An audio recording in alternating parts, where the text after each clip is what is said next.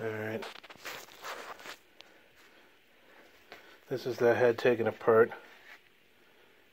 There's the valves, springs. The exhaust has a rotator. All the intakes have a retainer. Exhaust has that one. Intake has that one. That's an 882 head. This is a, as you can see from that last digit there, that's a 4, which means this is 74, which means we had lead back then, for all you old people like myself. So we'll be replacing these exhaust seats to run on the unleaded fuel.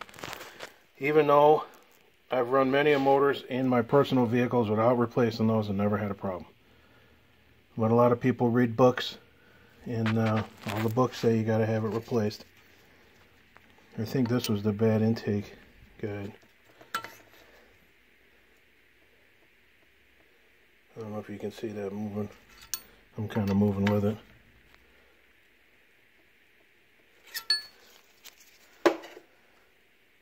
But I got three more to go, so stay tuned.